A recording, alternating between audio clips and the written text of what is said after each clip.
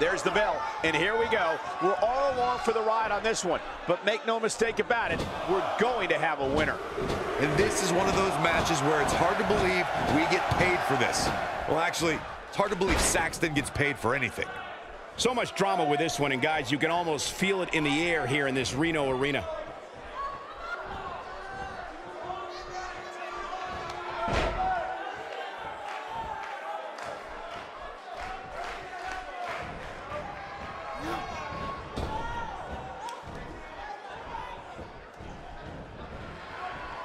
He wants to do this in the ring.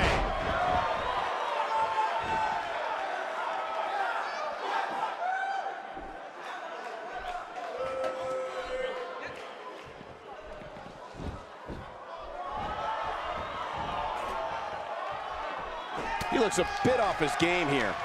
This could be the start of an ugly downward spiral if he's not careful. Yeah, he's taking on some offense here, but that's to be expected, especially considering who he's in the ring with. I think a lot of people right now are scratching their heads wondering how he let this match get so out of hand.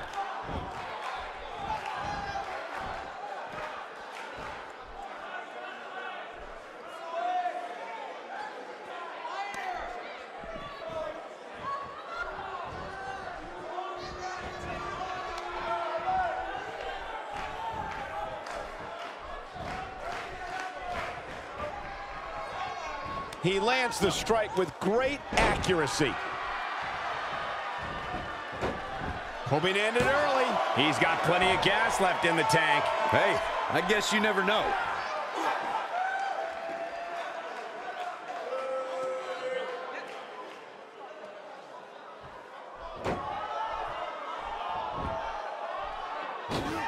Ain't no stopping him now. They get dangerous out here, especially when there are no countouts. This is it. Phenomenal forearm! Now that's what I call making a statement. So incredibly devastating.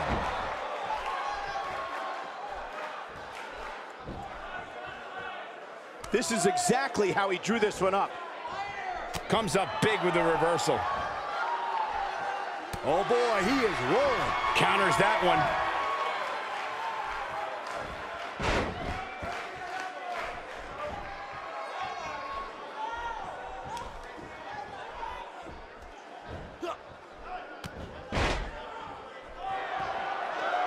Showing very few signs of life here. Yeah, there's no way he comes back from this. Might as well ring the bell now.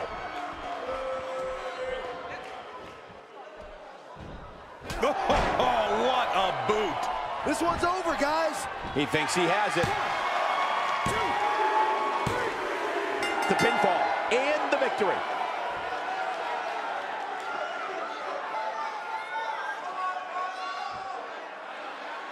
Here is your winner, Nightmare Wolf.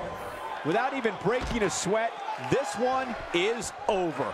I don't care how many wins you have, whenever your hand is raised in victory, a certain level of excitement washes over you. And that'll do it here for this one-on-one -on -one match. I hope you enjoyed it as much as this live crowd appears to have enjoyed it.